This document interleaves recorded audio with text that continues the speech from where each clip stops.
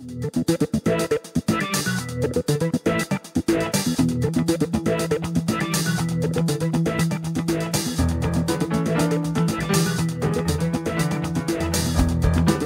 are listening to the SDSU podcast presented by the East Village Times with your hosts Andre Haghverdian and Paul Garrison. Welcome, listeners, to the SDSU podcast. I am your host, Andre Haghverdian. We'll be joined shortly by my co host, Paul Garrison. We are finally here. We made it to game week, week zero of the college football season is this Saturday. And San Diego State plays in week zero this year against the Ohio Bobcats.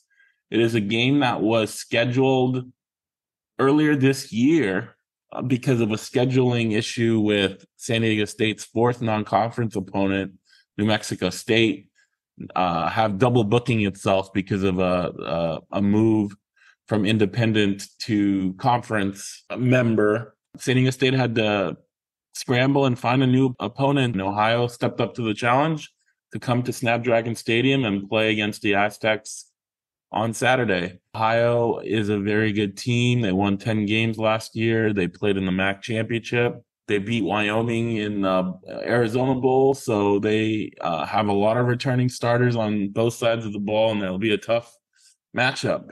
Uh, but before we get to previewing that game, we have an interview with Shaun Cole, the newest San Diego State baseball head coach, who was named uh, the successor to Mark Martinez, who retired about a month ago. Coach Cole was the pitching coach at San Diego State for the last two years, and he now takes over as the head coach.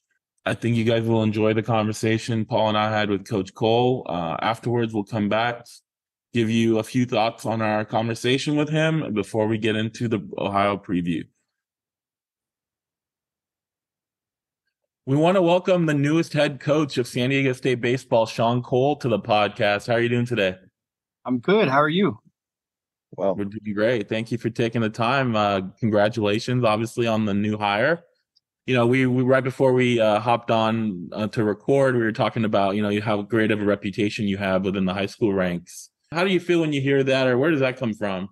Well, it, it, makes me feel good. It does because, like we were talking about before we got on here, one of the things that, two things that were instilled in me a long time ago by Coach Lopez, who's obviously been one of my mentors um, through my through my career, and I got lucky to have such a great mentor.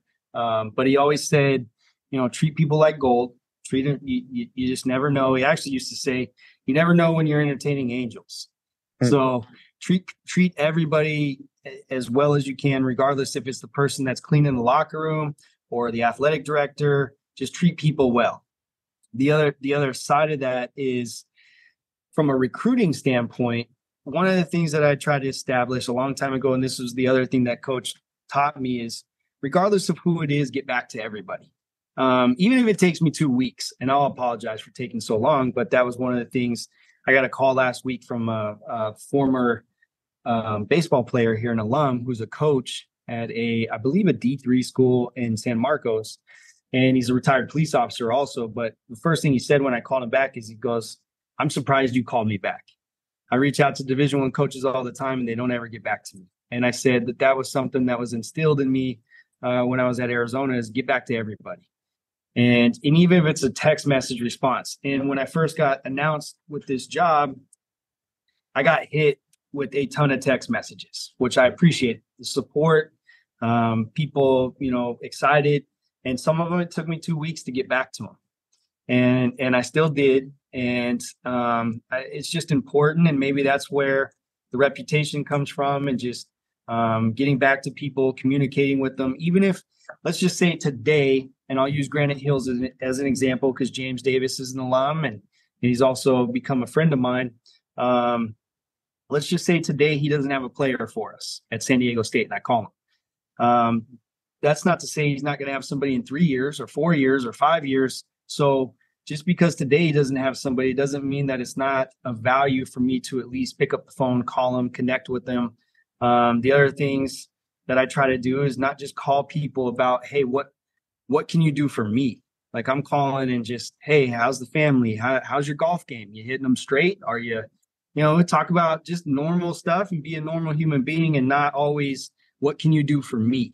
Um, so I try to be conscious of that, and maybe that's where the reputation has come from, or I don't know. Um, um, and, and the other thing too, since I got here as an assistant coach, I've made it a priority, and I've said this to a lot of the local coaches in the area, is that it is very important for me to um, recruit and try to own our local players. Like our rosters should be a core group of San Diego, and and you can you can always creep up into Orange County and LA also, Southern California. But the the the better players here in San Diego, we should at least be in the mix on all of them. Um, we're not going to get them all, but we get them, or at least drive up the price for our competition, especially the ones that are out of state. You mentioned uh, you you've been here as an assistant coach for the last couple of years. What brought you to San Diego State? Why did you want to come and be an assistant coach at San Diego State a couple years ago? Good question. There's there's a few layers to that. I was obviously on the, the I was in Kentucky, um, and I'd spent some time in North Carolina with Team USA. Also, my wife and I are both from the West Coast. Our parents are both on the West Coast, and we're in that season of life where our parents are getting to that age where we where time is is valuable. I'm helping my mom move actually in two weeks from Washington down to Arizona. And if I'm on the other side of the country, those things are difficult to do. So that was first and foremost one of the more attractive things uh, was getting getting back to the West Coast, getting close to family, and then also my time at U of A. I've recruited in San Diego a lot, and I always thought San Diego State from afar was a very appealing place to coach at, not only because of ob- the obvious uh, reasons. You know, San Diego's paradise. The weather's awesome. Uh, the beaches, baseball is at a high level on the West Coast. But I just, you know, San Diego State's always been appealing to me. And when Coach Martinez reached out to me about the job, one of the things he said to me is, you know, San Diego State's never been out of a regional. Mm. And and I didn't even I did not know that. So to take on the challenge of coming here and and helping accomplish something that's never been done, uh, especially something like that in a in a storied program with a lot of players that have come through here, a lot of major leaguers. Um, that's something that that is um, top of mind for me. That we we need to get that done.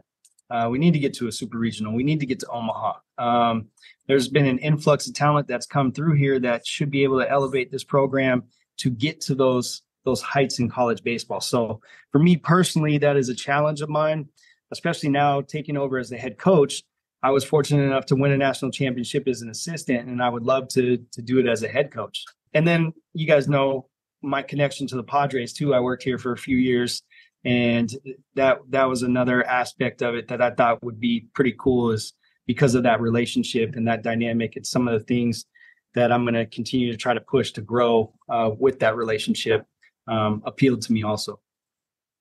With Coach Martinez's, you know, retirement, how quickly did you know things move with JD Wicker to make you the next head coach? Well, well, you guys, you saw the timeline, and and that was one of the things I, I touched on in my press conference that uh, the reason why it it moved um, the way that it did is when I was contacted about the pitching job uh, Mark and administration had talked to me about my interest in being a head coach and waiting or, or eventually taking over the program. So um, it, it moved pretty quick. And I think some of that has to do with obvious things like the portal, current roster. Um, yeah. You know, we're in that space now where you you can't you can't wait for too long, otherwise players are going to get antsy and they're going to start looking elsewhere. JD Wicker, he he he seems to like to hire from within.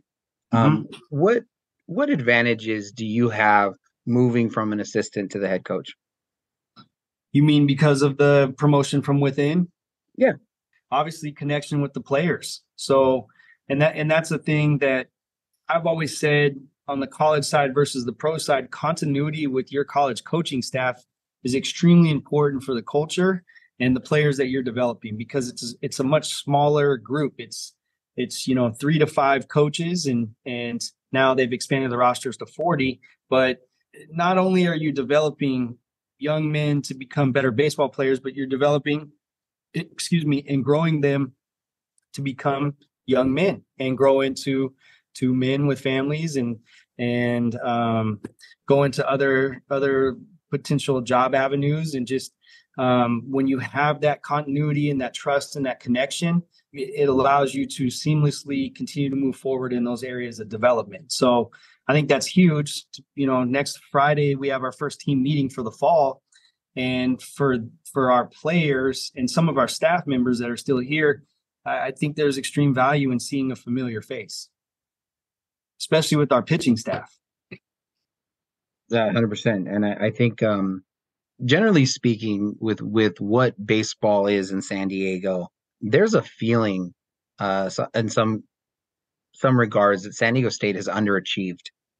What what is your assessment of you know the past five years or so and where they've mm-hmm. been as as you because they've had a lot of you know a lot of major leaguers have mm-hmm. have come through and are in the minor league system and are drafted and picked up every year um, but at the same time, you know, last year was, I think, with the first time that they've won the Mountain West, which isn't always known for its baseball um, in a number of years. And so, just what is your general assessment of, you know, where the program has been, maybe even before mm-hmm. you got here, and you know that that look from a view uh, from afar that you were talking about uh, at Arizona. I always hate trying to speak on on circumstances or situations when I don't know the inner workings. I, you never know. From year to year, there could have been injuries. The draft could have taken some guys that they were banking on to push them to the next level. So I, I don't want to speak on that too much. I will speak on most recently, like last year, we won the conference, and and I felt like we underachieved. And I, I think Coach Martinez would probably feel the same way, and so so would our other coaches. I think it, there was a period of time during the season where it was in our hands to win the conference outright, and we just didn't get it done. And I also felt like rolling into the conference tournament, we had a little momentum to to do perform better in the conference tournament and push ourselves into a regional. And I definitely think we had the talent. Uh, we just had we we had some. We just we just didn't get it done. I don't I don't I. The other thing for me, and our and our guys are going to hear it next week is I don't want to spend too much time on the past. I want to talk about things moving forward. At the end of the day, we walked away with the conference championship. So let's build off that. And yeah. you know, my first year here the year before was was not a good season, maybe one of the worst in San Diego State history and definitely the worst that I've experienced as a college coach.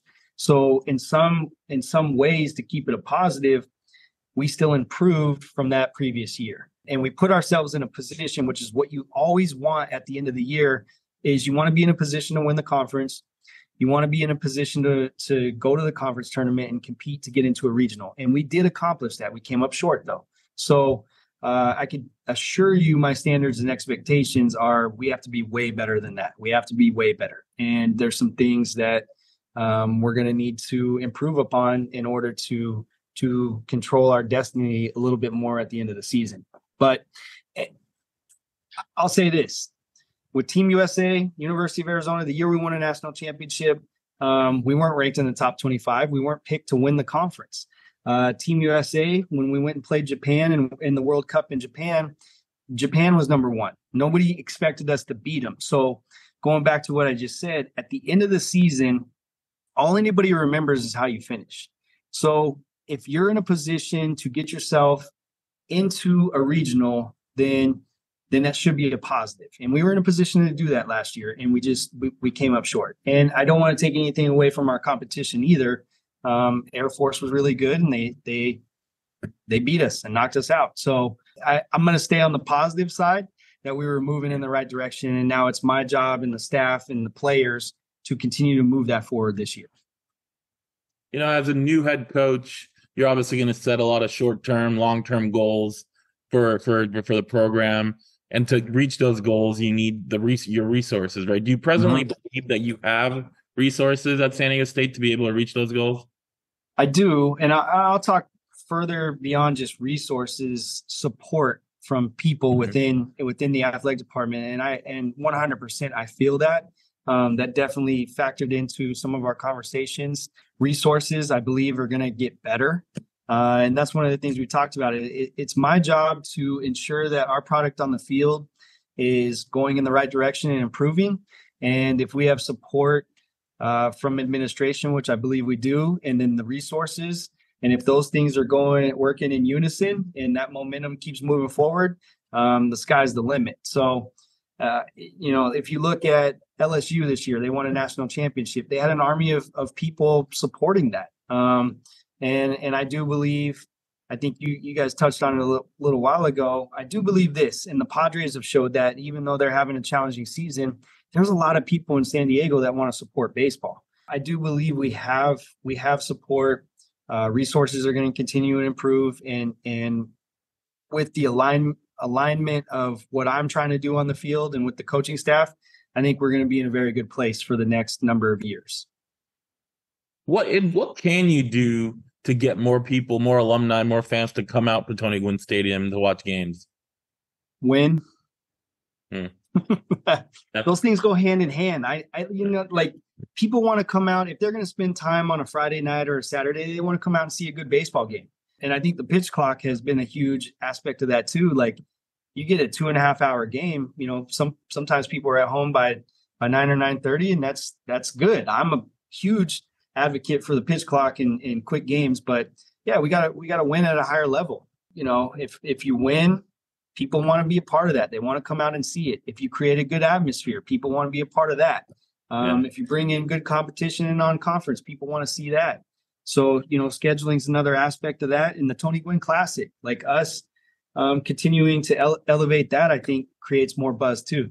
So, um, but at the end of the day, and and and I'm probably hard headed to a fault on this, but win, win more, and you and and people come around, they want to be around it more, and and you get you get more cool stuff too because people want to be be involved and they want to be connected to winning. Um, another group, obviously, anytime a, a, new coach comes into it, um, there's there's a huge legacy of SDSU baseball, um, mm-hmm. huge legacy. How how do you or what has been maybe your conversation with you know baseball alum um, whether it's big leaguers or just people who've been connected to the game. You've already mentioned some of the coaches that, that you're talking to at the local high school colleges. But I mean, what has that conversation been like with some of those alumni and, you know, you selling your vision to them um, and mm-hmm. maybe their involvement in it? It's been positive. People have been excited.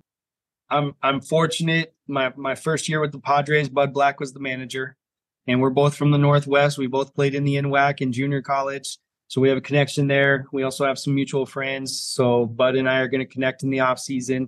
I'm actually going to go to the Padres Rockies uh, one of their games. I think that's coming up in a few weeks, and I'm going to try to say hello to Alan Trejo and, and Bud and Travis Lee and I had a two hour conversation about two weeks ago, and we have some connections too. We both grew up in the same neck of the woods up in Washington, and I know his dad well, and I know his brother Tabor, uh, and, and he's excited to come out and be around the program more. Uh, Stephen Strasburg um, has been a much. He's been around the program more in the last couple of weeks, which is a, also another good sign. I mean, just to have a guy like that come around our players is huge, uh, and have his support is huge. Uh, Chris Gwynn and I and, and, Anthony Gwynn, we talked a few weeks ago. I had a three-hour lunch with Chris in Temecula about a week ago. You know, it's it's it's a two-way street. Alumni wanting to be involved, awesome but I also have to do my part connecting with them and getting them more engaged with the program. And sometimes that's tough to do. People live in other states, they have other they have families, they have their jobs. So we need to do a better job on our end of having those touch points through the year of just updating uh, updating them where the program is, where it's going. Um, I have some ideas. I'll give you an example. One of the ideas we may do this fall is I'm going to put a bunch of alumni names in a hat, and one of our guys has to pick that player's name and regardless of what year they were here, they got they have to go research them. They have to come back and present to the team about them. Um, we may, be, may, we may even do a short 15 minute Zoom call with that alumni um, to have that connection. Um, we need to do a better job of you know sending a newsletter or getting them on a group chat and just sending maybe a two minute interview or a minute interview with Irv Weems after practice one day and this is what's going on. Like those connections have to be provided by by myself and, and my staff in order to continue to grow uh, the alumni base and the connection and making them also feel like and i'm not saying this wasn't going on before i'm speaking about right now but making them feel like they they they're a part of something. I think that's key. I think that's what every alum wants. The number one thing that I've heard over and over is they really enjoyed the the golf golf weekend. So we got to get that rolling again, and I'm gonna have to dust off my golf clubs and. Um, but you know that's something that they all enjoyed. So so we need to get that going again. And I and and I think that the reason why that fell by the wayside in the last number of years was just you know the pandemic mm-hmm. messed up a lot of stuff. So 100%. you know, and so we got to get that going again. And whether that'll happen this year or next year, I, I haven't fully decided yet because the number one priority for me right now is our current team. Like we got to, you know, we need to we need to make sure we have a, a, good fall and we're heading in a good direction into the spring. Um, but uh, the alumni is definitely top of mind for me because of the storied history and the connection, and then having a lot of alum that live here locally too. Um, one of the things James Davis and I have talked about is maybe there's a um, a breakfast that I do with the local alum that are high school coaches and just alum that are in the area, and maybe we do that once a month or once every two months. I don't know, and, and I'm all in if I, especially if I can get a free breakfast out of those guys. Hundred percent. Um, you know, when you, I guess, like think about, um, you know, a Shaun Cole led team, mm-hmm. what reputation do you want your Aztecs to have? One, and I think that it's been established since I've been here in the last two years, is that our opponents are going to they're going to know that our pitching staff is going to come at them. Um, we're going to attack them with fastballs. We're going to throw strikes. Uh, we're going to compete at a high level there. Uh, overall, as a team, what I want what I want people to say when they leave, regardless if they win or or lose, is they they they do it right. Um, they're professional about what they do. Um, they play the game hard. Um, they're on and off the field the right way. They they handle. Uh, umpires are going to make bad calls. People got to understand that. So just because you get a bad call, do you have to show bad body language and show up the umpire every time? No. Like handle it professionally. Like the things that I've learned in my past is the the age group that you're coaching and leading, lead them to to the or coach them to the level that that they want to get to. So I'm gonna I'm gonna these guys are college athletes, but I'm gonna ask them to do things at a professional manner. I want you know like yeah another thing for me and you could say that well coach you're you're OCD about these things like we're gonna have a clean dugout. It, it bothers me that there's bags laying everywhere and, and sandwich wrappers and those are little details that that are big.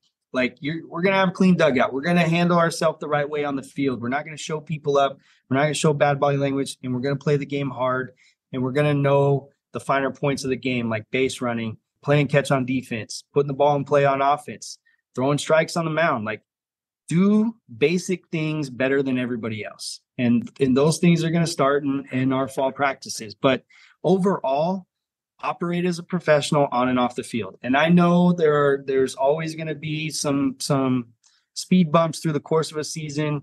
Young people make poor decisions at times and and you got to handle those situations individually and grow those people to learn from their mistakes. So but at, at the highest level, I want people to walk away and say, man, they play hard and they do it the right way.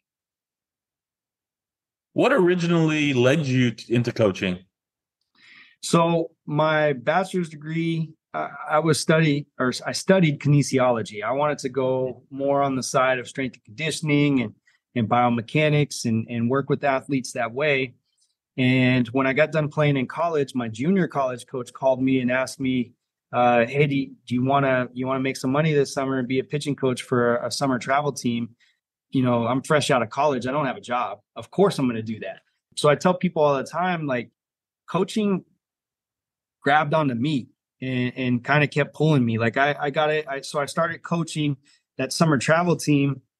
And then I was going to grad school at the University of Washington and I got an internship in the front office with the Mariners. Um, and then from there, that turned into a junior college pitching job. And in my first year in junior college, we won a championship. So I was like, well, well, this college coaching thing is easy, which is a joke. It's very challenging. But at the time, at a young age, I was like, well, I'm going to keep pursuing college. When I was going to grad school, I had to get another internship to finish out my my uh, master's degree. So I wrote letters to three professional teams and then three Division One schools: Stanford, Cal, Arizona, and then the Angels, Red Sox, and I can't remember the other professional team, but Tony Reagins the GM of the Angels at the time reached out to me, and then Andy Lopez reached out to me at Arizona, and I, because of coming off of that junior college season, I decided to stay in college and go that route at Arizona, and I had no no intention of landing a job at Arizona. My whole thing was go down there, work my tail off, learn as much as I can, parlay that into a a pitching job in the Cape Cod League, which I did. I had a job lined up with um, Yarmouth Dennis to go do that, and then I was hoping from there to get a volunteer job at probably a mid major.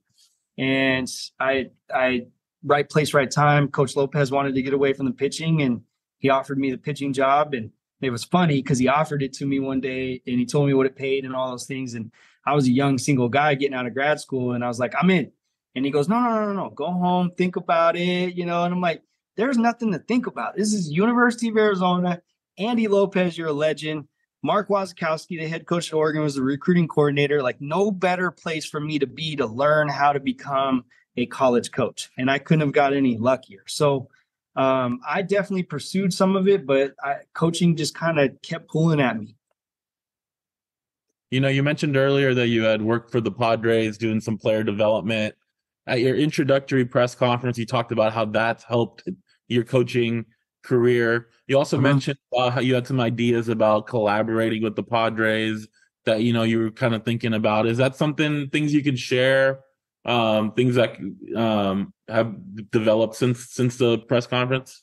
Yeah, I'll give you an example. Um, last year we played the Padres Instructs team last fall, and we were going to do that this fall, and, and, their schedule got adjusted, so we're not doing that. We may.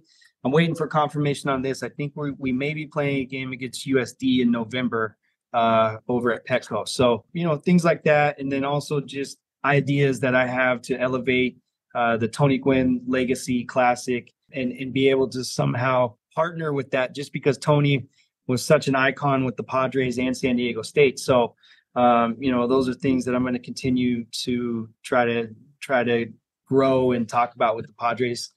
AJ AJ Preller hired me with the Padres, so to be able to have that connection with him, and then some of the assistant GMs and other people that are within that organization, you know, it helps to get some of those ideas firing and and things that we're kicking around. Um, I I was fortunate enough to work in player development and scouting, so I was a part of the draft. Uh, I did all the um, pre-draft workouts throughout the country. I did international stuff um, on on the player development and draft side, and then um, I worked in player development. I managed in the minor leagues. I was a coordinator in the minor leagues. So I I've always say it like this, and it's the same for players, players and coaches on the professional side the amount of reps you can get in a year is like dog years compared to college because you're out there for early work, you have games, and you're playing almost every day, uh, almost year round. So um, for me to to learn on the pro side and get as many reps and see as many reps, and then also see you know the best players in the world, it just gives you a totally different lens to look through um, versus you know just being on the college side. So looking at uh, the posted job position for the assistant coach baseball role, it's online. Um, yeah. Emphasis in hitting. Um, what is it that you're looking for in, in that yeah. assistant that you're that you're you know excited to bring in and add to your staff?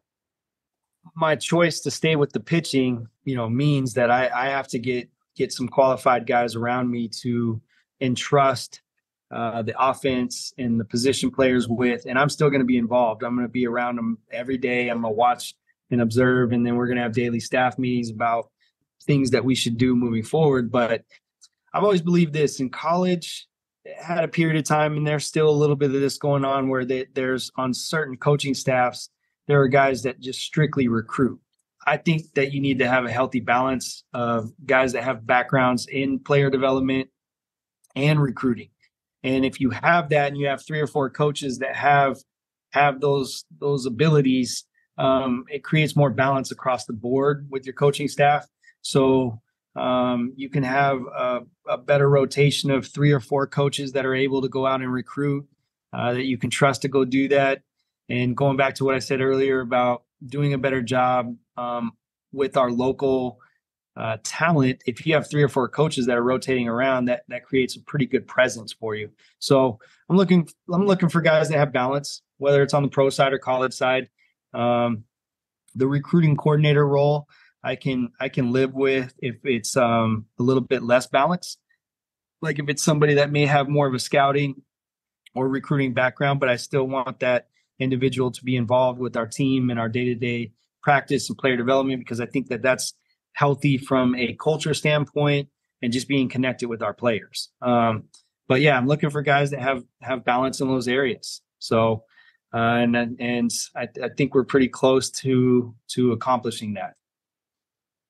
Um, you've already mentioned Irvin Weems, who you know had some injuries last year and still, I think, was an incredibly exciting player. Yeah. Um, you know, Sean uh, Montoya is just coming out of from nowhere and, and just raking and, and, you know, really exciting player. Um, but, but who are some of those players that, that, you know, fans should be excited about that are coming back um, for next season?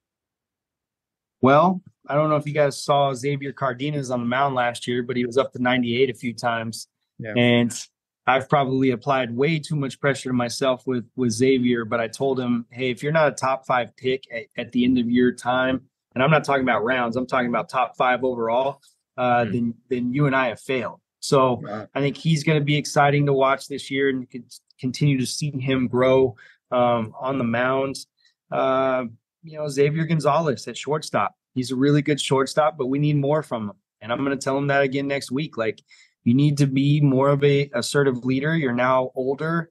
Um, you've been through the Division One uh, cycle for one year, and it's time for you to take more of a leadership presence on the field as a key uh, player as a shortstop. Um, I'm excited to see David Whittle and his progression and how he's going to grow, taking over Pancho Ruiz's uh, role behind behind the dish as a catcher for us. Um, we have some exciting freshmen coming in also. Finley Bates is a guy that I'm I'm pretty excited about. I'm I'm eager to see him. Drew Rudder uh, left-handed hitting outfielder. I'm excited to see him get going. Josh Casada, a kid that we recruited from Florida through some uh, pro connections that I have, left-handed hitting second baseman. I'm, I'm I'm excited to see him. I mean, we we have a whole list of guys that I'm I'm excited. I'm excited to see how some of these guys progressed in summer ball. But yeah, Irv, I've already had some some serious conversations with him about how he's got to he's in a leadership role too. All those guys up the middle, David Whittle, Gonzalez, Irv Weems, you guys need to lead this group to the next level. And you and you know, he's got we got some big shoes to fill with Cole Carrigg being gone. So offensively in that three, four, five position, some of these guys gotta they gotta grow up. They gotta step up and they gotta drive runners in. But I'm excited about the group. We have some transfers that came in also. We have a guy named um, Jacob Reardon who uh, is coming in from um, Arkansas Pine Bluff. He's a Georgia kid, 95 to 97 this year in the Cape. Um, I'm excited to see him. We have a junior college transfer coming in, Dylan Hawks, left-handed pitcher, who was up to 95 this summer. I'm, I'm excited at all the pieces we have. Trevor Fox is another guy. I mean, he's a large human being out there. I'm I'm I'm excited to see him be a big target over at first base and and and the power that he shows in BP translates. Same with uh, Drew Giannini. I mean, I can go on and on with our guys. I'm excited about our our whole team. You know, you were hired right. You know, as the transfer portal was ending. You know, mm-hmm. how does the portal work for players when a new coach is hired for for a team? It really depends on how your roster shakes out because in some cases, and you're seeing it at certain schools like Northwestern right now. I mean, I think they have 15 players left because there was a mass exodus. Uh, thankfully, people love San Diego so much that we didn't have a bunch of guys jump in the portal. And that goes back to your earlier question too about the continuity of promoting within.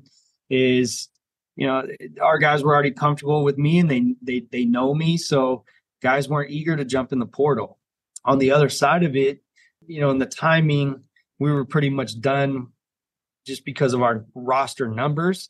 Um, but in some circumstances, when a coach takes over and he sees some areas of need, you can jump in the portal. I mean, it's it's it's like free agency. So, and that's something that we're probably going to take a hard look at with with our current group and heading into the next summer. Are there major areas of need that we need to supplement out of the portal, possibly? you know, under Coach Martinez, a lot of Aztecs played in the Alaska Baseball League. Mm-hmm. You know, that ended in early August. Are there any updates on any other summer leagues that your players played in? There was a bulk of guys that uh, we sent to Salt Lake City, Utah. Um, there, there's the Marshalls and the Bucks and Chad Shepard, who runs that organization. I've known for a long time, and they've elevated it in major ways to to try to make it one of the more premier uh, West Coast collegiate leagues. Like he had guys from LSU and Alabama and Texas this year that were out there playing this summer, and we had a core group of our sophomores um, that went out there to to grow uh, playing wise. But the other reason why we sent them there is because they have a strength and conditioning staff and they have a gym that they can access at all times. They also do biomechanics assessments, and those those are all key areas to continue player development. Like the, what has changed with summer baseball is it's not just send guys out now to get more reps and play more games. There are other areas that they can continue to um, to grow and, and, and develop. And in Salt Lake, they offer a lot of those things. And then we had a core group that actually stayed here and lifted five days a week with our strength conditioning coach and played in a local San Diego uh, summer league. And I look at that more of like like um, instructional league where they can they can get their lifting in and then they can go work on a couple key key areas that we want them to improve on and and kind of do it in a um, low stress environment. What's the uh, name of the local league they played in? I knew you were going to ask me that. Shoot. I don't remember off the top of my head right now. No, you will get it. Um, you know, as you are coming into this role, um, obviously not in a negative sense, um, comparing yourself to Coach Martinez, but you're different mm-hmm. people. Um, mm-hmm. what, what, might be, you know, you, you, mentioned the clean dugout. You know, I mean, what what might be some of those differences between, you know, what Mark did and and and how you're kind of seeing your mark, no pun intended. Um, yeah. Of of your you know your mark on the program. Uh, you know, obviously personalities are a little bit different, and that, and that's that's that's a normal thing when you look at a coaching staff. Uh, I don't know if there's a lot that I'm looking to to change that Mark did. I think if anything, um, we're just going to carry it forward. So, you know, m- my personality and and the way I connect with the players might be different, but I, you know, we'll look up. Time will tell if that's a good thing or a bad thing. For me, and I think that was one of the other appealing things is, like being a part of the program in the last two years and and seeing how Mark did it and and looking at where our group is right now, I don't I don't think that there's a lot that has to be overhauled in order to get us moving in the right direction. And sometimes you see this all the time in, in certain cases where just a new voice can push teams to a whole nother level. Um, and sometimes that's just because it's just there. You can tell young student athletes the same thing over and over. And then somebody else comes in and says it in a different way. And all of a sudden it clicks with them and and you're like you're standing there and i'm like i've told you that five times but maybe you know maybe it's just it'll be a different because the coaching staff's going to change too so it's just all those dynamics and then going back to alumni and their excitement and and i don't think this is anything with mark or the current state of the program it's just it's just kind of how things work sometimes when there's change people get excited about that so and i don't think that that's necessarily coming from a negative so if anything, I think it's a positive. Like I was saying, is like I don't I don't think we're gonna have to necessarily overhaul and and sit here. And I'm not going into this saying, well, I got to blow up everything that Coach Martinez did. No, if anything, carry it forward with some some small tweaks. Yeah, no, no doubt. Um, what I think one of the things we've had an opportunity to to talk with, you know, softball head coach, uh, soccer men's soccer head coach, um, in addition, obviously, to, to talking with you know um, football, etc. Um, and and the the one common theme amongst all of them is how unique San Diego State is as a program because there is an isolation. Everybody's not in their own little silo, just just leading their own teams, but mm-hmm. that they really appreciate the camaraderie, being able to bounce ideas off of um, the other head coaches, assistant coaches, etc. Um, have you had the opportunity, you know, to to kind of get some advice, maybe specifically from Coach Hoke or co- from Coach Dutcher, or just what has that interaction been for you as you've taken the reins? unfortunately, since this transition ha- has happened, um, both of those coaches are really busy right now.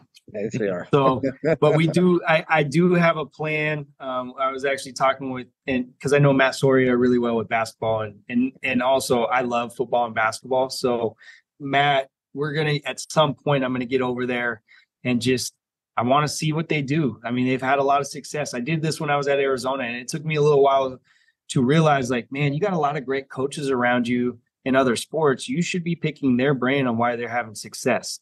But I haven't had a chance to really get over and talk to either one of those coaches.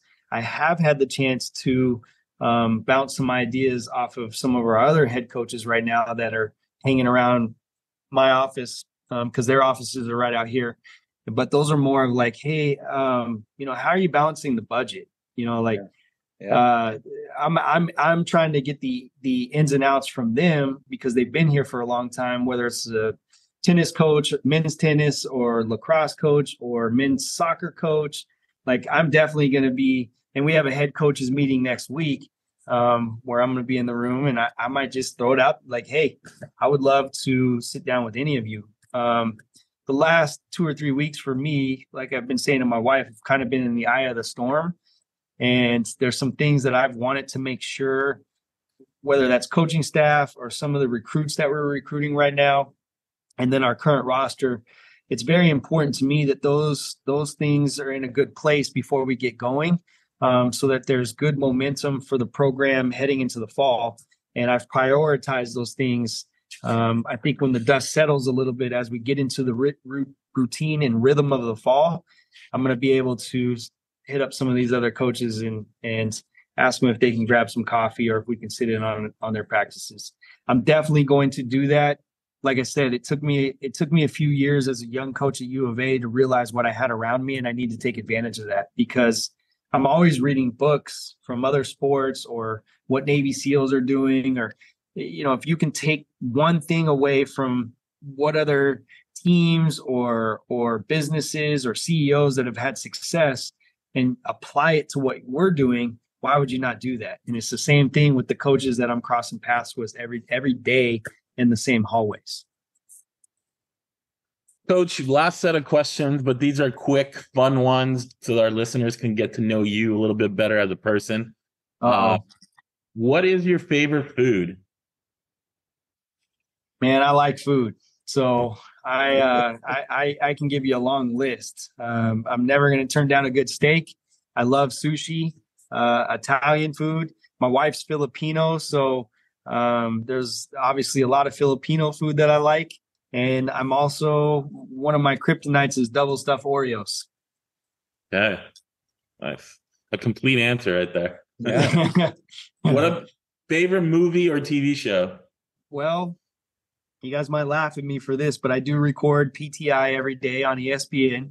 I love I, I love that show. Um, that's usually what I watch before I go to bed, either that or Seinfeld. Trying to think of a recent show. I uh, I loved House of Cards. Entourage was one of my favorites. Uh, Yellowstone. I can't wait till that comes back out, and I think that's coming out in November. My wife and I love Yellowstone. Uh, I started watching Billions a couple days ago, but I just I haven't had a bunch of time to really sit down in the last couple weeks to to dig into a show. Favorite movie? I got a lot of them. Probably one of my favorites, and my wife gets mad at me every time because it's it's on like every other day, and I can. Wedding Crashers. I love Wedding Crashers. I love old school. you know, I, I can watch. I can I can watch those movies all the time. Yeah, those are some of my favorites too. What about music? What's who's your favorite musical artist or group? I'm all over the map with music.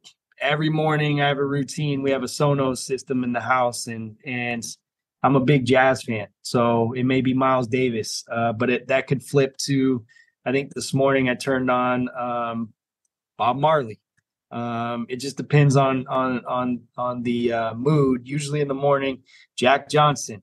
But I can go from that to I can listen to Drake.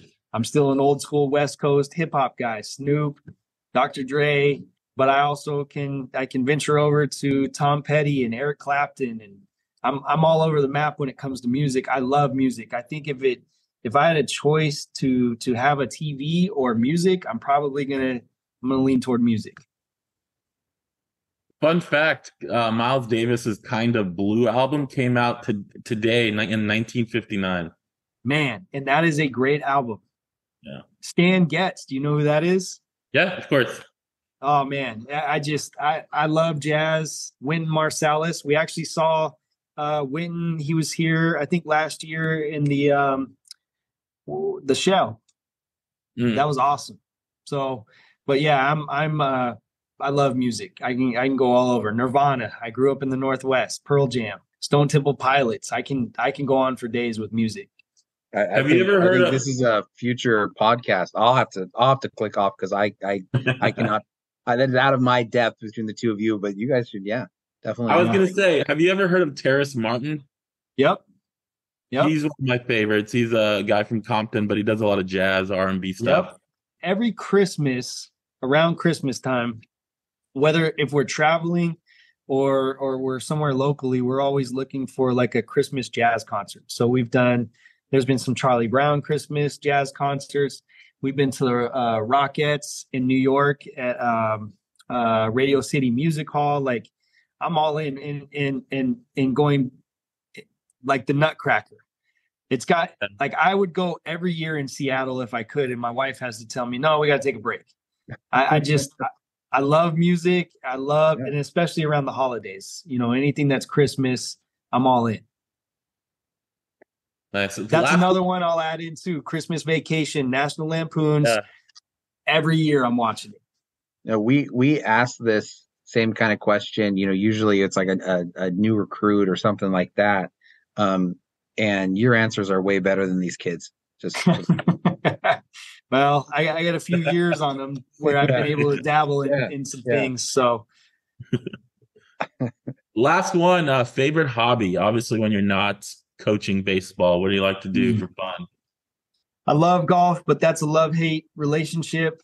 Um, I like shooting guns. I, I I I gunsmith a little bit too. I grew up in a military family.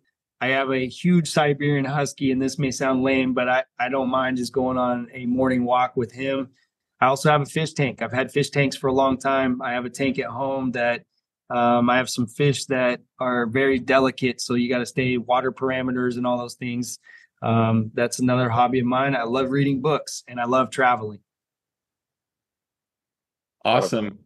Coach, thank you for your time. Uh, congratulations again. We look forward to seeing, uh, you know, how, how the team does in your first year as head coach. I look forward to it too, and and thank you for the time and the support. Paul, that was our interview with Shaun Cole, the newest head coach. Seems like uh, just yesterday we had the prior head coach, Mark Martinez, on. I think that was uh, maybe about two months ago. And uh, now we've got the newest head coach on in the same off season. What, what were your takeaways from talking to Coach Cole? I think I was surprised by how personable he was. Um, I, I know surprised is the right word, but you know, he just, I thought he did a great job in everything that he said and how he said it and how approachable he was with, with the, you know, just being able to give like good, open, honest answers, um, about where he sees the program at. And then overall, I, I think it's really smart of San Diego State, you know, the, reality of where their baseball program is at is it's not at the level to have like the biggest budget. And I think that you have to have your head coach be elite as a position coach. Um, I think that's the smartest way to be able to kind of get the most bang for your buck, so to speak, as opposed to having like a, you know, a regular manager and then you have an assistant who's over hitting and an assistant who's over pitching. I think it makes a lot of sense to be able to get a guy like um, Coach Cole, an elite pitching coach, and just be great there and try to build around pitching and defense and then allow him to, you know, figure out how to do all of the other pieces as well. Um, I think it makes a lot of sense because, you know, you, start looking through even just his small track record at San Diego State. Somebody's going to come and get him. Someone is going to come and, and offer him a bigger job um, someone's going to offer him more more money, I should say. And and so I think it's a it's a great hire. And um, from what he said, it sounded like he was it was um, the plan since he's gotten that since he first was brought in. Yeah, I mean, San Diego State seems to really embrace the head coach and waiting philosophy. You know, mm-hmm. Obviously we know about Coach Dutcher. We know, you know, when Brady Hoke came back as a defensive line coach. I mean, I don't know if they expected Rocky Long to semi-retire um, after the 2019 season, but I think that was the the plan as well. Yeah. We know about the softball coach, and now we know about this. I think having the opportunity to talk to both coaches in such a short period of time in this open, you know, free form podcast and uh, environment. And this isn't meant to be a knock on Coach Martinez, but I think if you listen to them back to back, you'll you'll notice the the communication style, the the personality, the uh, maybe more of a passion come out a lot more with Coach Cole than Coach Martinez. And that could be among it could be a myriad of things, but I think you know, when you're going into high school athletes' living rooms or phone on the phone and talking to parents, I think connecting with them when you're trying to recruit them, you know, I, I can see Coach Cole being a little bit um, more successful in that avenue and connecting with these players a lot more. And I think uh, you're right. I think he just came, the, his personality shown came across. Uh, he was very um, personable in, in his uh, answers and and I think that's going to resonate with not just the current players, but you know, the on, on the recruiting stage as well.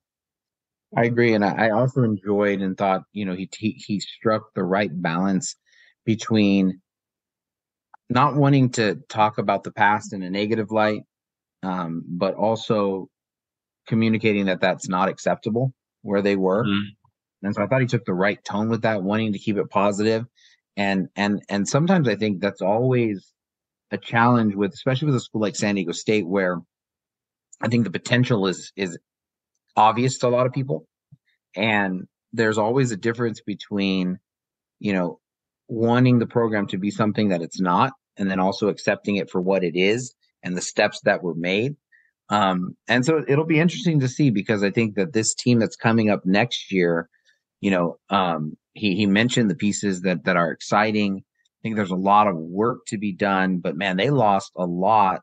And in in some ways, they they kind of mirrored the Padres this year in that, you know, they had these guys who, um, you know, Cole Carrigg, Pancho Ruiz, T.J. Fontaine, all guys who are in major league, um, you know, in the minors, and they didn't quite produce.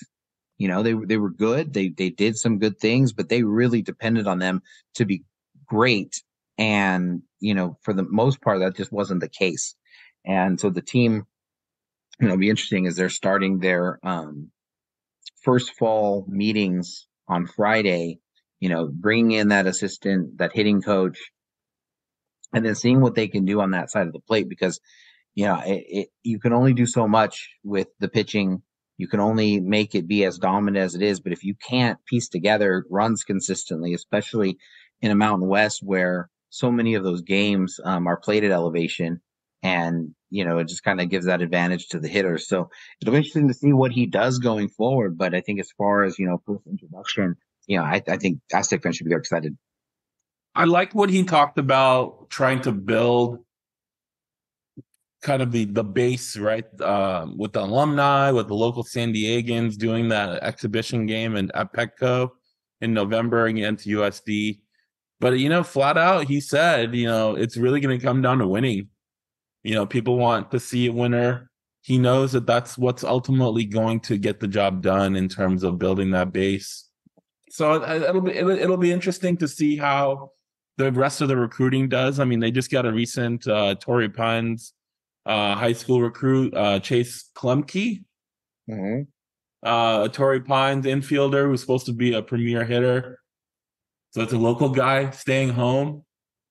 And you know, one the other guy, I think what really stood out to me was when he's talking about Javier Xavier Cardenas mm-hmm. throwing 98 and how his ceiling is to be a top five pick in the draft, which is wild. I mean, I've I yeah. honestly, I've honestly have you know, when they were talking about Troy Melton, uh, Martinez was when you know in 2020, 2021 it was always like, you know, we're not really going to see the, the, he's so, he's so new to pitching. We're Yeah. not really going to see the best that he has to offer. Um, and it was almost like he was he was keeping dampening the expectations because it's so hard to live up to that. Um, and so it was it was refreshing just to see a coach go the opposite direction. He said it, you know, maybe I'm putting too much pressure on him, but um, Xavier Cardenas was a huge, big time recruit, um, top 150 in the nation, one of the top um, players in California, um, and all those things coming out of high school. And I, and I think that's another. It's always an interesting thing about recruiting, and and especially with local guys, especially with local guys. There's a lot of local guys who pick San Diego State, but then they get drafted Mhm. and it's it's almost like they give this nod to the local program because they want baseball in San Diego to go go. But you know, Adrian Gonzalez, as much as he committed to play for Tony Gwynn, at, at you know he he was not he was not going there. You know what I mean? And I think that um, that that's what I'm always interested in. That is how they how they toe that line between you know being draft eligible, going into the minor leagues, and how much of those guys actually you know end up showing up on campus. Um, the last thing that I wanted to talk about that I thought was really good uh, was just the excitement from the alumni that has already started to to take hold. Um, and you know, I think I think again, he I think he he Coach Cole spoke really well about this. Um, it was something that over the last few years has kind of fallen off. I think I remember Coach Martinez saying there's a few things that, that I've let go of that I need to reclaim, you know, if he was going to not retire and he was going to come back for this next year. And I can very easily see one of those things being this and that, that alumni connection. Um, but I thought Coach Cole said it well that, you know, so much changed because of COVID. Yeah. It's very, it's very easy to forget and, and just be like, well, he should always have a connection with the alumni and Strasburg should always be somebody that he's talking to. And, well, who did you talk to during COVID? you know what I mean? Like, like that's a that's a lot easier said than done when you're trying to just get a season in, um, and you can't be in person, and you're Zoom calling about everything, and nobody wants to do a Zoom call because it's like I've just done seven thousand of them this week, and so I really think that this year is kind of a perfect year to to kind of reestablish all of that and the opportunity to do that with the excitement of a new coach. Um, you know, a friend of mine uh, happened to be an assistant under um, Jim Dietz, and you know, Coach O was was telling me like he read the article and he and he's then he really enjoyed that, and he liked to see, you know, all of these guys want to get back and connected with the program, wanting to do that because, you know, when you when you don't when you can't outproduce the best teams with having the biggest budget, you know, you got to be able to leverage what you have. And San Diego State has a tradition of baseball players who go on to play professionally, who've had great success at, at individual success, um, especially at the college level. And that, that holds a lot of sway, you know, that holds a lot of sway with, with, um, I think young guys and just their development and being able to, you know, tell people like you can come to San Diego State and you can be, you know, a top pick. Um, they've done that multiple, multiple times. If Cardenas does it again, that'll be another one. You know, you you you can improve. You can do all of those things, and so I think connecting them with all of the alumni, um, you know, with the Bud Blacks of the world and all the people who are connected to it, um, I think can only help them. And finding a great way to like organically bring that about, you know, whether it was through the research projects that he was talking about or finding ways to connect the, the players to um, the former players, I, I think is just, I think it's genius and I think you just have to do it. Um, so I thought it was great. I like, you know, Stevens. He mentioned Stephen Strasburg had been around the the program over the last couple weeks. Mhm. You know, obviously it's in the middle of an MLB season, That was interesting. But with Strasburg's, you know, injury and you know, we haven't really seen him pitch for about since they won the World Series, right? Three years ago. Um, we don't know where his career is headed, whether it's going to, you know, not whether he's, you know, gonna have to hang it up in terms because of medical reasons. So he would, could be another resource for the program to to have in the going forward, whether it's in a coaching capacity or an advisor or whatever. Uh, who wouldn't want to, you know, what pitcher wouldn't want to take you know, advice and lessons from, you know, Stephen Strasburg, right? So I think that was kind of that was really cool when I heard that, even though it's in a way it's a negative thing because he's not pitching because he's injured. Right. Uh, it, that's kind of a, a, a side benefit, I guess, from that is getting having that uh, wisdom and knowledge, you know, for the players. Absolutely, absolutely, and you know, I I think that Strasburg um, and the relationship that he had with Tony Gwynn, I think that's another great way to just keep that connected with it. Um, I would, I'm excited about the possibility of the USD game, as you already mentioned. Um, but I'm also excited to see, and it again, this is something that I just, it, it, I had thought of. So if I've thought of it, um, smart people like Coach Cole, like obviously thought about it 10 times before. Um, but it's always seemed weird to me the lack of Padre presence at the Tony Gwynn Classic. That just it just seems to be such a slam dunk of of some way of you know um, we're going to have Coach Cole throw out the opening pitch of the Padre game. The Aztecs are going to be playing the Tony Gwynn Classic in honor of the Tony Gwynn Classic being played. You know, you know, or whatever. I mean, yeah. whatever those things are, or or um, you know, asking the Padres in between innings to to show a couple highlights up on the thing and saying, "Hey, this is the, the Tony Gwynn Classics happening over there," or you know, um, do some little promotion where it's like, you know, all you can eat seats in in in right field, and anybody who buys a ticket to this game will also get a ticket to whatever, you know, whatever. I mean, whatever they can come up with, but it just it just makes all the sense in the world. And so I'm glad that he's having those conversations and he has all of the personal relationships with the Padres to be able to try to figure that out. And I don't know how creative the Aztecs can be um, in terms of, you know, what limitations they have because they are, you know, obviously a college campus and things of that nature. And you're asking people to come onto a college campus. But like, I, I mean, with the, with the storm not that far away, um, with the way that Petco Park has, has turned into this, I mean, the baseball has not been very good, or it's actually really like every third game, it's really entertaining, fun baseball. And then, you know, it's not so much. And yet it's packed and it's a party every single time that you go, that you go. Like, I just wonder if there's a way to, to try to duplicate that, you know, at Tony Gwynn Stadium. If, if there's a way to, you know, obviously in a smaller budget way, be able to, you know, engage the fans, get them, get, get the kids out of the dorms and over there because they're gonna, what? I don't know. I don't know what those things would be um, but I, I would be excited down the road to see if they could get some of that fan experience. You know, I know that they have like new video boards and they're, they're, they're rolling out some of those things to make the fan experience a little bit better. I would imagine his connections with the Padres should at least facilitate a little bit of those kind of conversations. Um, because no matter who you are, you know, and, and I, and I think that in in today's day and age to get somebody to to really to go out there and want to do something like that with all of the other things that there that are out there to do um you know i think you need to make it a, a pretty fun environment and and figure out how to you know show people up on the new jumbotron and get them to sing songs and get them to do all of the stuff that people do so they're cheering and paying attention and it and it's you know something that they remember and want to come back to yeah, it's new. It's a new regime, and we'll see what impact it has on the baseball team when they get going. Um, obviously, early 2024 when the season starts. But the season that's at hand right now is college football. Oh, buddy! Oh, buddy! Let's Finally, go. let's um, go. San Diego State starts its season against Ohio on Saturday at 4 p.m. at Snapdragon.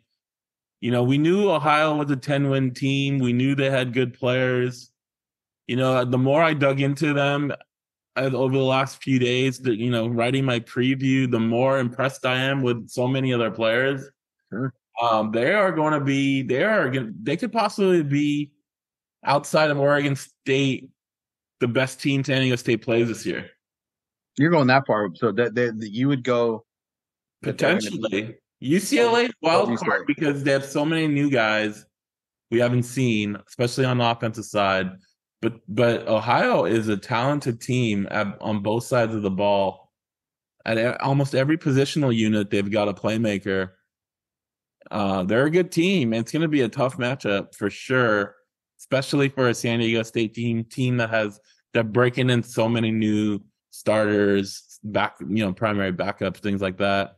And yeah, it's it, it's a game. Uh, I think if San Diego State wins, it'll be a big victory, a very positive victory for them considering the opponent. I think you're you're you're right, and um, there's so many places to attack this. Um, let's start with the starting QB for Ohio. Yeah, half of me believes that that guy is not playing on Saturday. Mm. We got the two deep from San Diego State, and here's the offensive line. It's all this time. Finally, here we go, and it reveals nothing.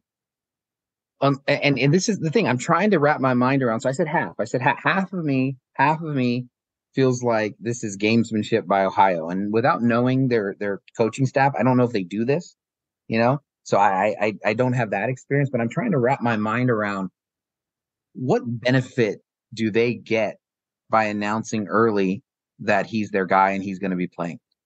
The only thing I can think of is confidence for their team. They want them to play like we're the best team. We need to play with confidence. We're it. We're going to be really good. We're the should be the MAC champions. We would have been last year. But then I'm wondering myself, with such a veteran team, do they lack confidence? I can't imagine that that would be the case. Yeah. Um, and so I'm just trying to figure out like why would you announce it?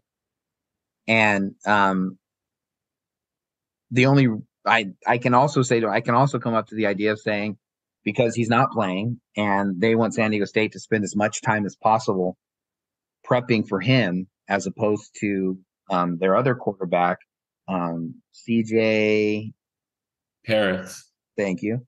Um, who is a better athlete and a more runner, I should say, um, and and stuff like that. So I said half of me, I'm just I'm still really really interested to see if he actually plays, um, because again, I, I just don't see what the benefit is to Ohio to announce it early.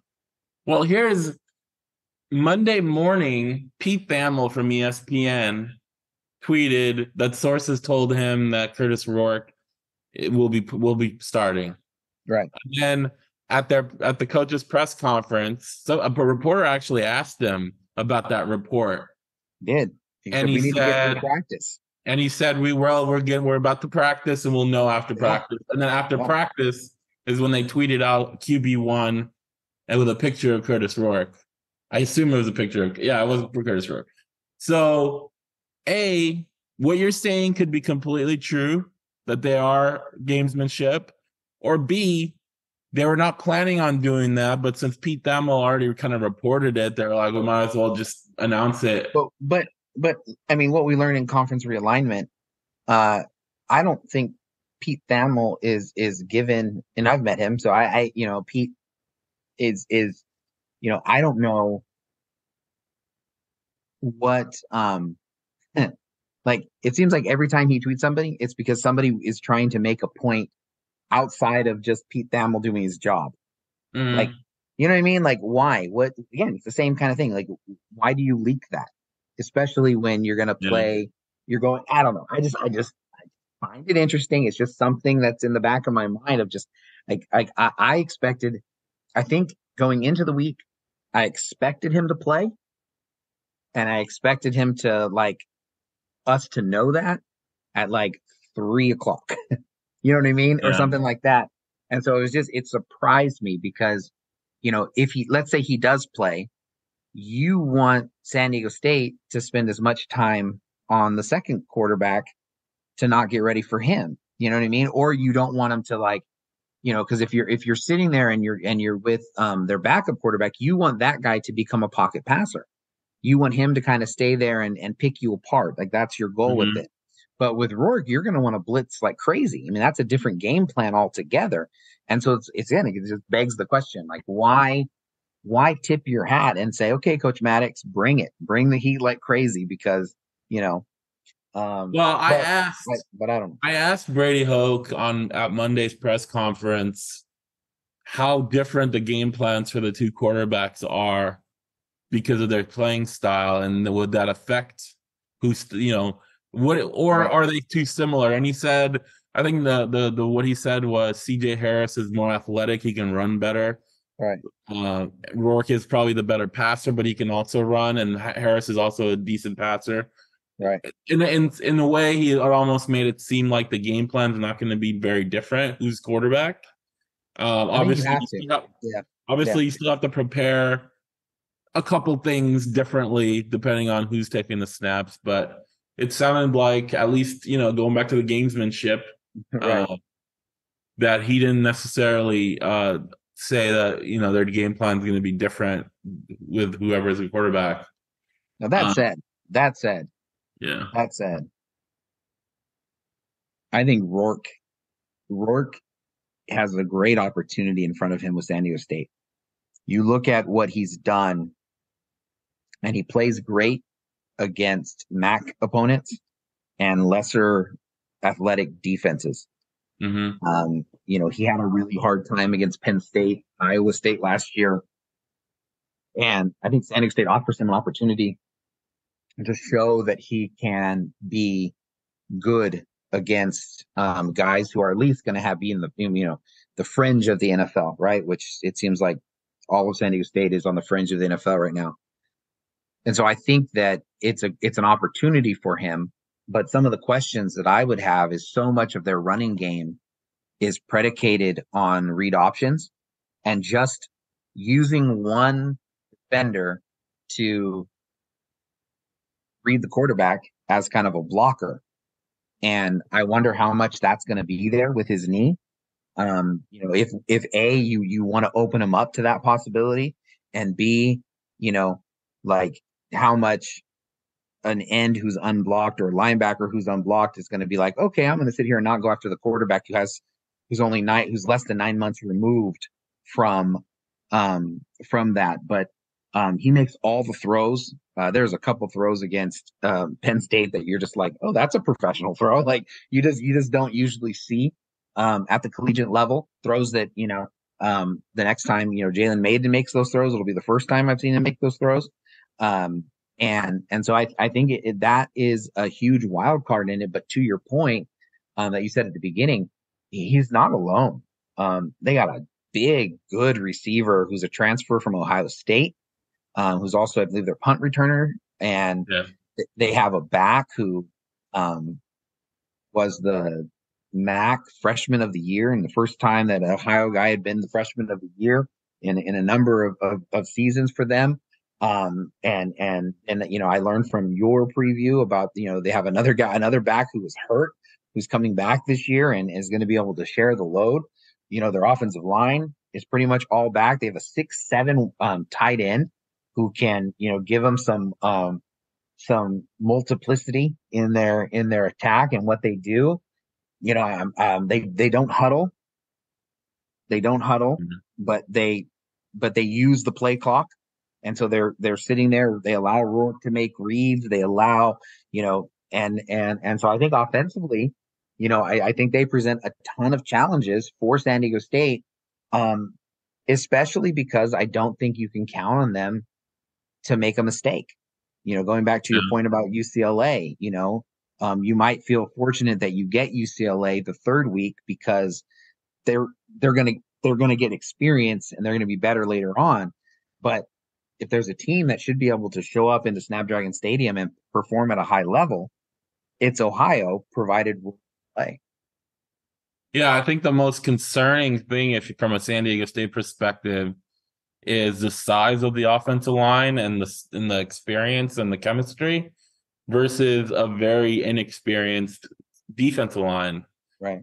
A smaller defensive line, like Garrett Fountain is 265. You know, um Dom Oliver is 260. Um, you know, Tupu is I think 280, maybe 290. I mean, these guys are giving up 30, 40, 50 pounds to some of these linemen. And that's not something new for San Diego State.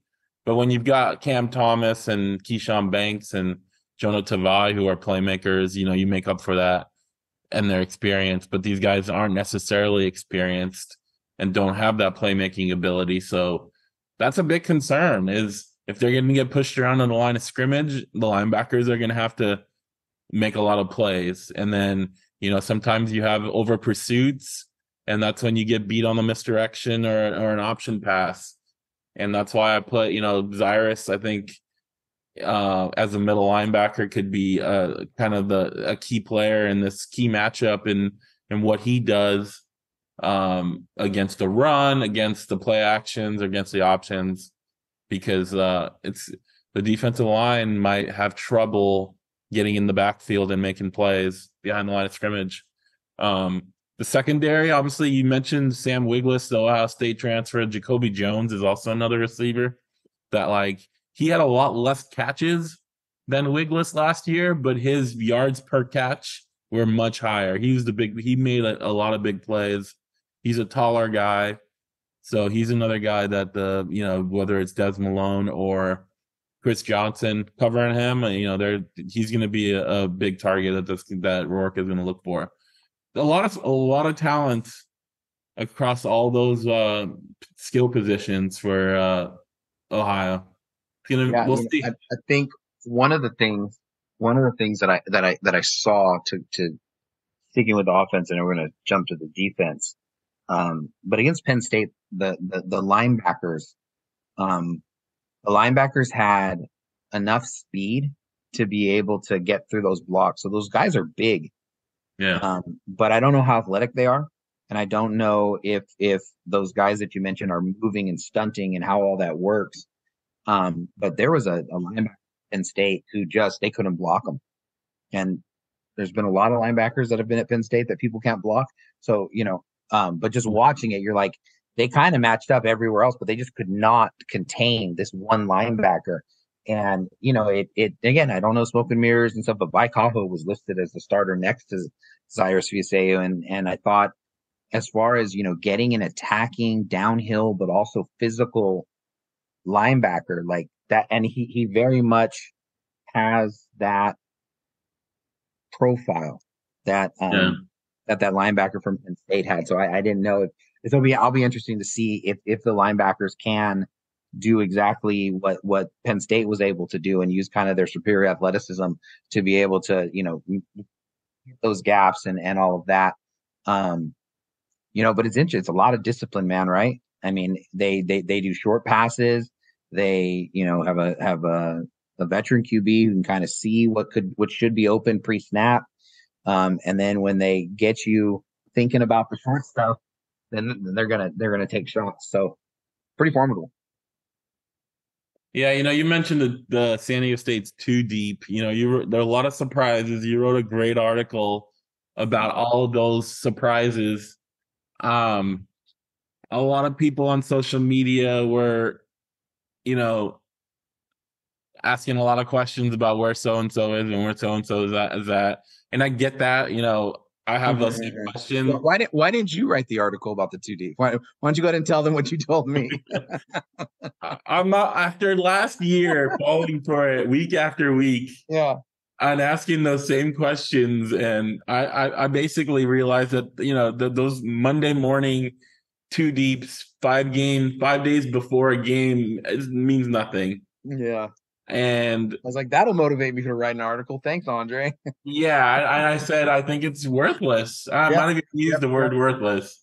Pretty cool. Um, and then um, and then Brady said on Monday, like all the because there was a lot of ors, right?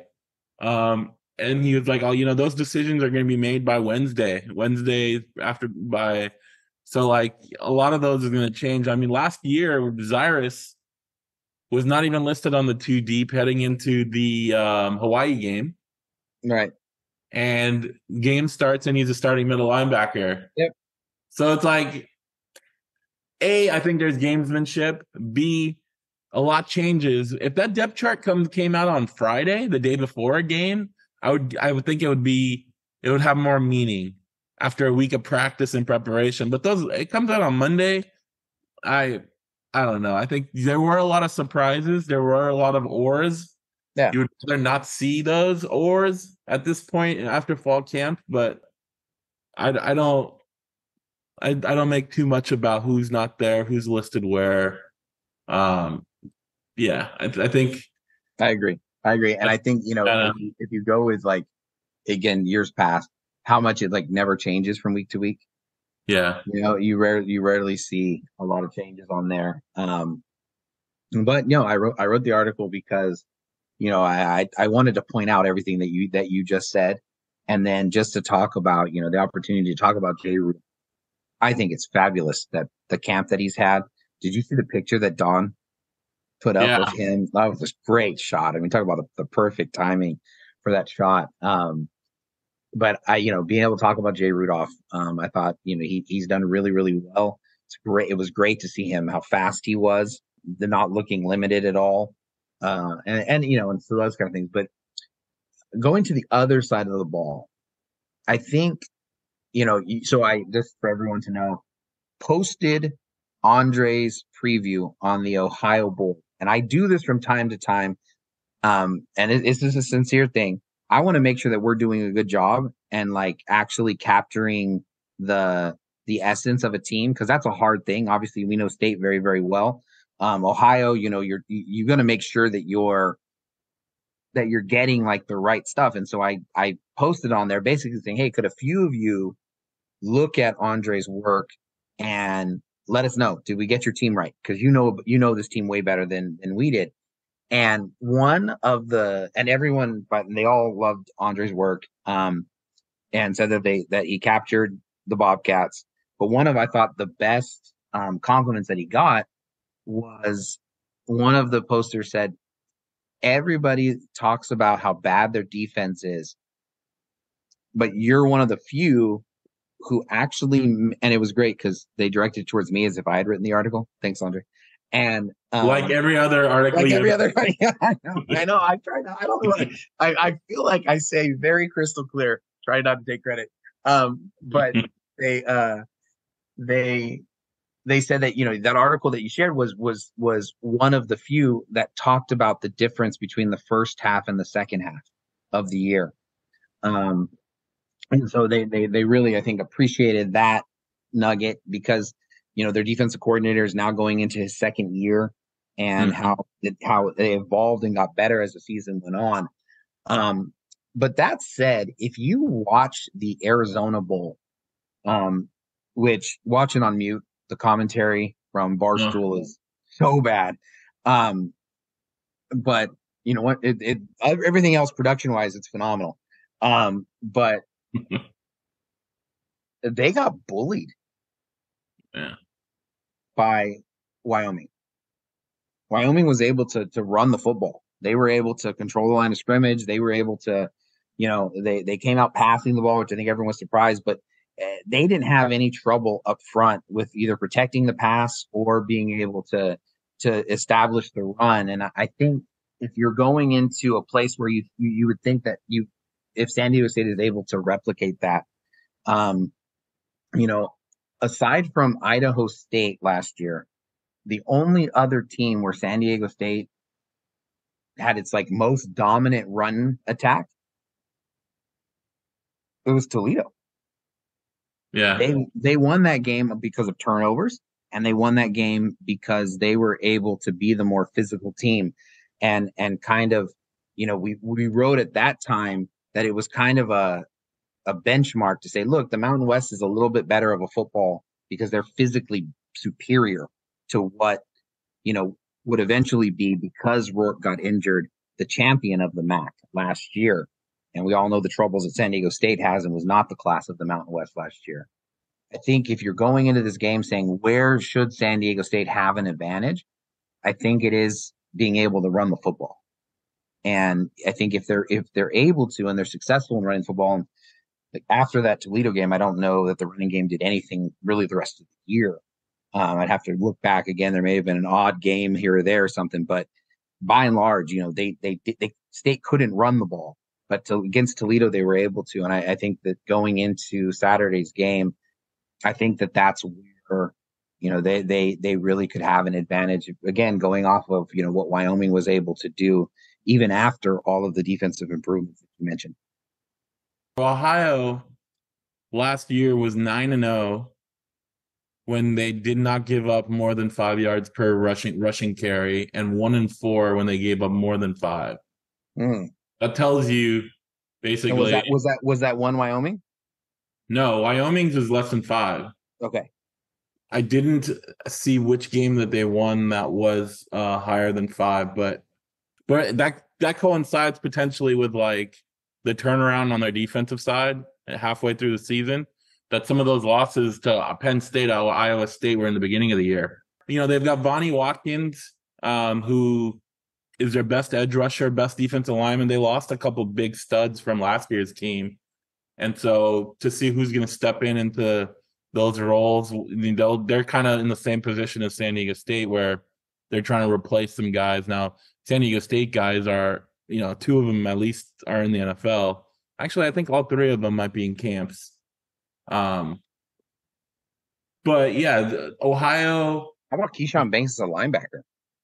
Is that what is he's probably listed as an outside linebacker, right? In a three four. I think so. At least he was standing up. I, be, I believe so. He made that one great Keyshawn yeah. Banks stop that you get one of game from him, where you're just like, well, that was that was elite. Where did that? Where you know? Can you do that more? Yeah.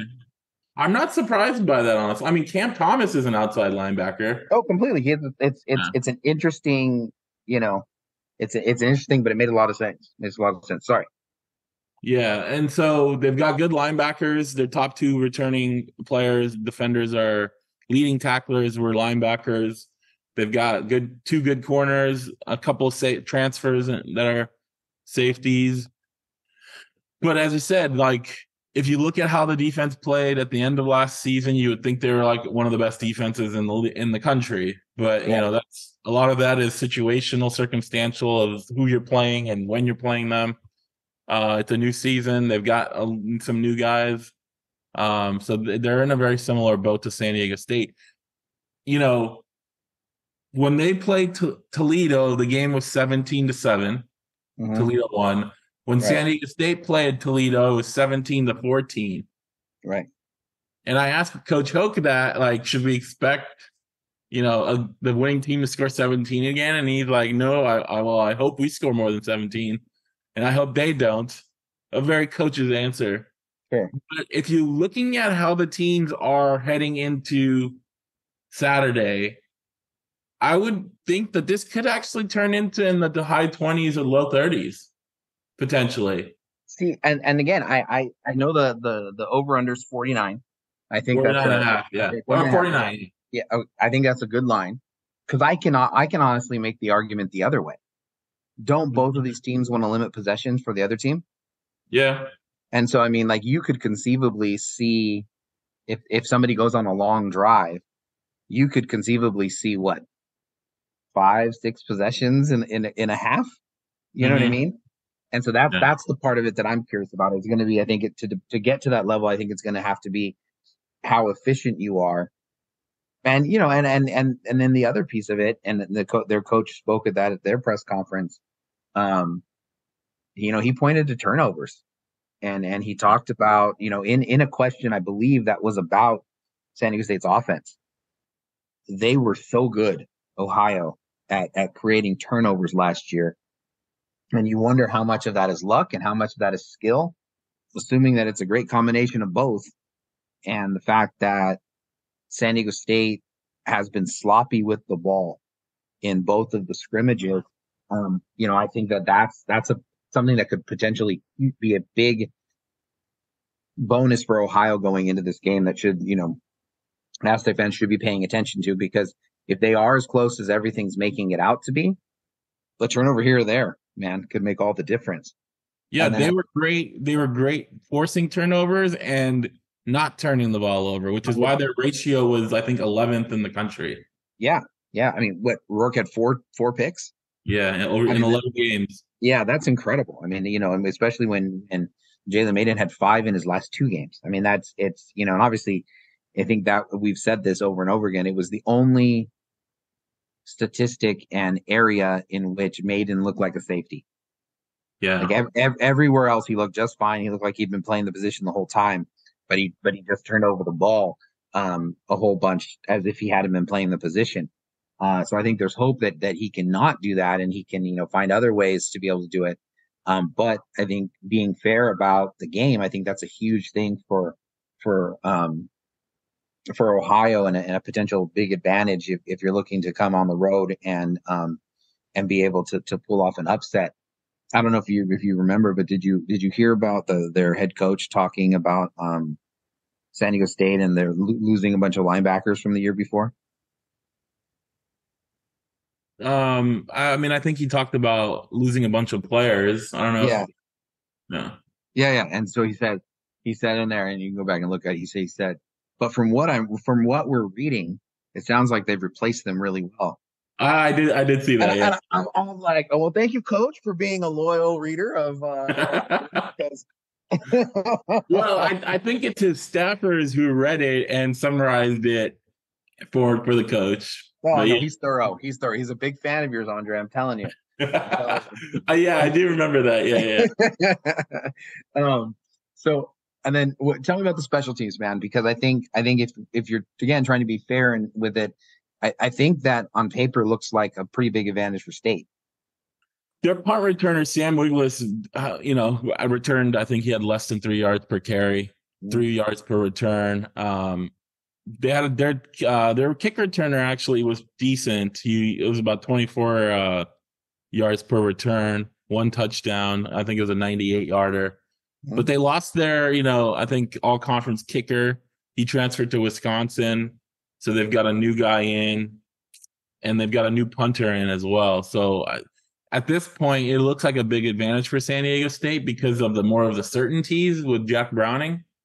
But you know, we don't know. These guys that they brought in could end up being as good or better than what they had last year, right? In the kicker and the punter.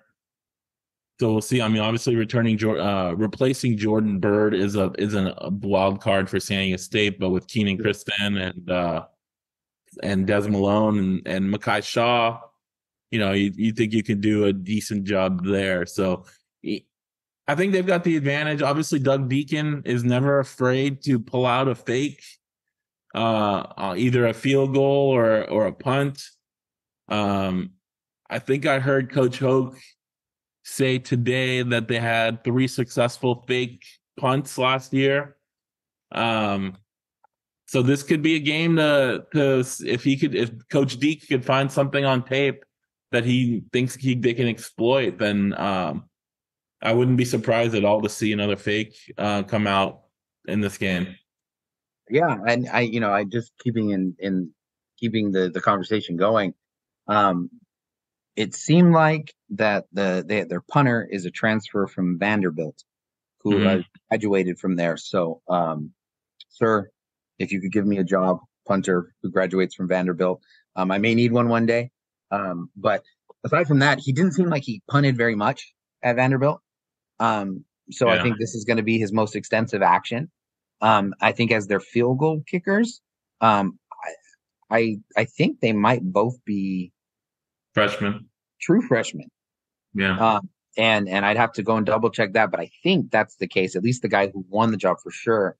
Um, it kicking in his first collegiate game, you know, uh, and then when I think the thing that could separate him is, uh, barring something that is abnormal, you would expect Browning to be able to put the ball in the end zone on kickoffs, whereas um, there was a lot of short kicks. And so I'll be really interested. It'll be interesting to see, you know, um, how they approach how they approach that. You know, do do they kick it to Max Garrison? Do they try to do those little pooch things down to the tight ends? Um, Yeah. Do they kick it deep and and and try to um, get Christon, um, you know, Keenan Christon, uh, the the you know an actual kick?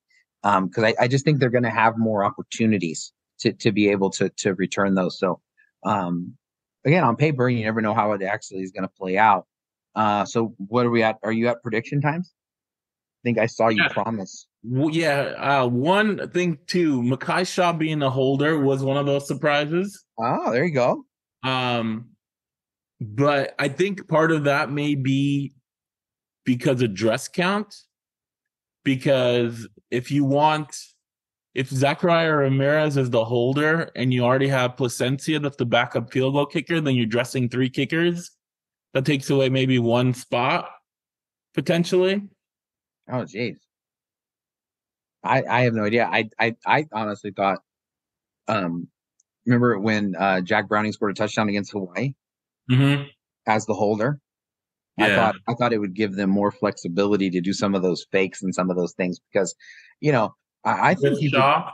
with Shaw because I think I think you know from the from the holder kicker, um, I, I would say San Diego State with those two would have maybe like the two most athletic, the most athletic combo, you know, in the Yeah. country. We know we know you know what an athlete Browning is.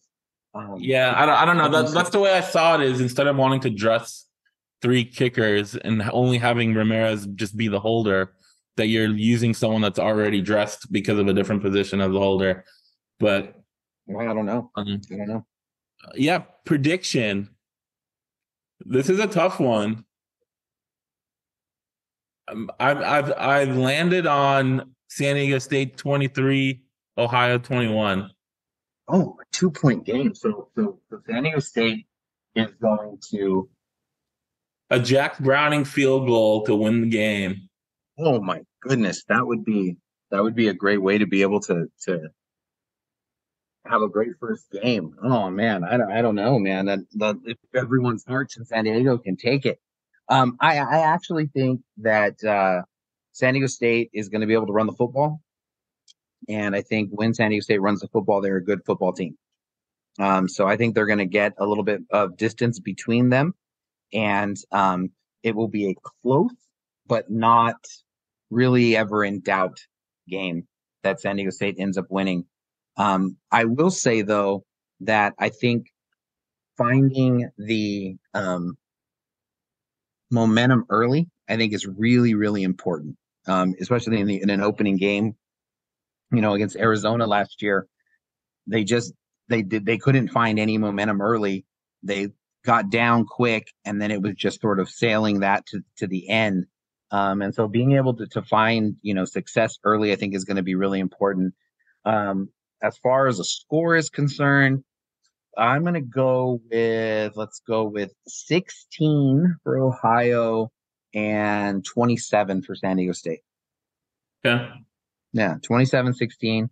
And, and, you know, it, it'll give Aztec fans a little bit of hope as they, uh, start thinking about a 2 and 0 against Idaho State and then going on from there. Aztec fans sometimes would rather not hear a lot of positivity and a lot of hope, but we'll see. That's true. I know. And it's, it's, such, it's it, no, it's such it's such a no win thing because you know if, if you pick them, then you're a homer, and then you know all these kinds of things. But yeah, there it is. All right, guys. Hopefully, you guys are have your tickets for Saturday, Snapdragon Stadium. Uh, a lot of great tailgates uh, I've seen pop up and planned for the parking lot pregame. So make sure if you're going to get there early to find your favorite tailgates. And game kicks off at 4 p.m. and we'll see uh, how, it goes. Um, Before that game, if you're jonesing for it, uh, men's soccer, they Mm. kick off their opener at Denver, and if you go onto the Go Aztecs website tomorrow, or the day that I should say, I'm sorry, the day this is coming out, where this is Wednesday night, so the day that this is coming out on Thursday morning, that they're going to be playing uh, Denver, uh, and you know they they have a really exciting season coming up. But on Go Aztecs, um, they uh, that should, it should be have a have a stream to be able to watch it. So as you're you know watching um, Florida and Utah start the is that next week? I'm trying to think. I think it's Yeah. next week. That's next week. I was saw a commercial. So anyway, no, so no, there's no competition then. Go ahead and and and see the men's soccer open up on the road against um against Denver, who has a very very good soccer program. what is, is this Denver College? Yeah, uh, that, yeah, Denver University. I don't know. Yeah, but they but but they can play like they're they're a they're a good soccer soccer program. Interesting. hmm hmm But like I said, I, I went on there and they already have like the video and you know a link that's already like there to be able to watch it. So I think you know be able to have the Aztecs, and then I think they're going to be back home for their uh, home opener on Monday up on the sports deck. So I think it should be pretty exciting. It's uh, Bakersfield. I think they're playing on on Monday. So you know lot, And I think they've happening. got, I think one a women's and a men's game at Snapdragon sometime in October. hmm That should be cool. Yeah so there, there's there's there's a lot going on there and you know trying to keep our you know volleyball they they had their exhibition on tuesday um photographer down there you know taking some shots there women's soccer so it's it's going man it's going. And and so I think for people who don't like evil baseball teams in Los Angeles, yeah, um, you know, might might might be time to to to you know let the, let the Padres languish in uh in without without as much fanfare and and see what's going on in the Mesa because I think there's there's a lot going on, but obviously chief among them is what happened Saturday, and you know I think San Diego State has a great opportunity to to to get some of those you know fair weather San Diego fans, fed up diehard fans who are just like looking for a reason to be really excited about this team. And I think that that that, that potential can be there for them with, with the win on Saturday. Absolutely. Thanks guys for listening. Uh thank you as always for uh liking, subscribing, sharing um on all your favorite platforms. We appreciate it. Uh we'll see you guys out there at Snapdragon on Saturday and we'll talk to you guys next time.